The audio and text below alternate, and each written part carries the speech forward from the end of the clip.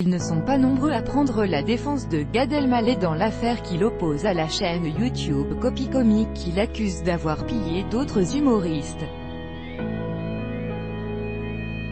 Manu Payet lui, n'hésite pas et vient à la rescousse de son copain. En janvier 2019, une mini-bombe explose sur les réseaux sociaux. La chaîne YouTube Copy Comic dévoile de très perturbantes similitudes entre des sketchs du comique préféré des Français, Gad Elmaleh, et ceux d'autres humoristes. Invité à s'expliquer dans l'émission au tableau sur C8 en juillet dernier, l'humoriste avait expliqué « J'ai souvent parlé d'un artiste qui a été mon maître, que j'adore et qui est devenu mon copain, Jerry Seinfeld.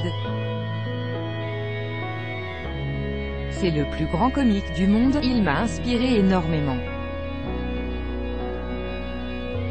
Je ne m'en cache pas, ça fait des années que je regarde ces shows, que je m'en inspire directement dans ce que je fais. C'est ce que je revendique. Le reste, pas du tout.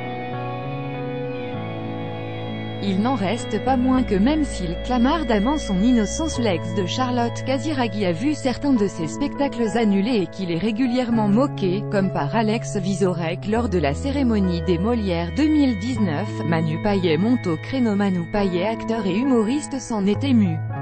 Interviewé par nos confrères du Parisien alors qu'il s'apprête à partir en tournée en province avec son one-man show Emmanuel il prend la défense de celui qui est pour lui un ami de longue date, j'ai beaucoup de peine pour l'homme et pour l'ami.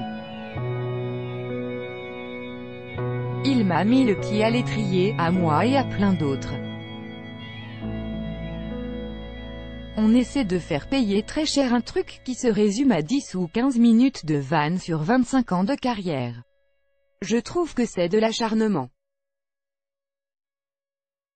J'espère qu'il va vite remonter sur scène avec un nouveau spectacle et remettre tout le monde d'accord. C'est tout le mal qu'on lui souhaite.